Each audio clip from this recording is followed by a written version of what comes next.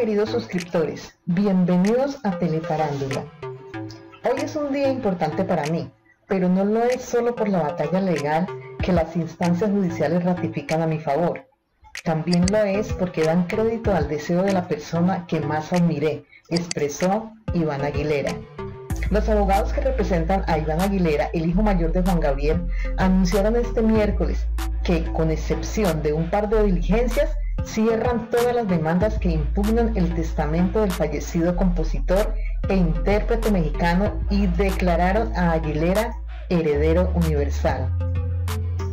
Durante una rueda de prensa en Miami, el equipo legal de Iván Aguilera, conformado por los letrados Steven Ebner, Francis Rodríguez y Guillermo Pous, ratificó asimismo que continuará con los procesos para el cantautor que están en manos de terceros. Iván Aguilera, quien no estuvo presente en la conferencia, pero distribuyó allí un comunicado, se expresó por primera vez en nombre de sus hermanos Johan, Hans y Jean sobre la ola de demandas y especulaciones que desató la muerte de El Divo de Juárez. Aguilera reconoció que ha vivido un proceso duro de entender, pero más duro de aprender, desde la muerte del artista hace casi tres años. Hoy es un día importante para mí, pero no lo es solo por la batalla legal que las instancias judiciales ratifican a mi favor.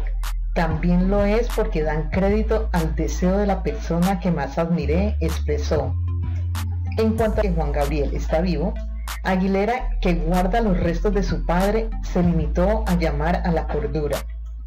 Por su parte, los abogados planean iniciar procesos legales por daños personales a quienes han difamado de Iván Aguilera y de su familia.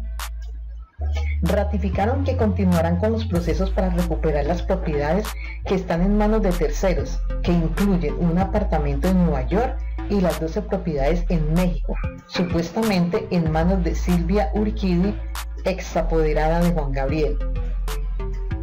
Ya la Corte Suprema de México ratificó el testamento de don Alberto Aguilera, dijo el abogado Pous, que lleva los asuntos legales de la familia de Juan Gabriel en ese país. Esto invalida cualquier otro proceso, dijo, y explicó que aún quedan dos demandas en curso que espera sean desestimadas en breve. Con este dictamen, Iván queda como heredero universal, como lo estableció el cantautor en su testamento de 2014, remarcó Pous.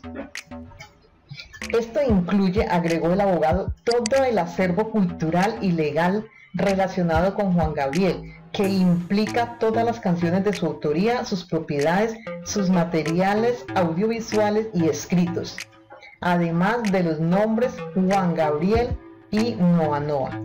Déjanos tu comentario y suscríbete para que estés al día con todas las noticias del entretenimiento.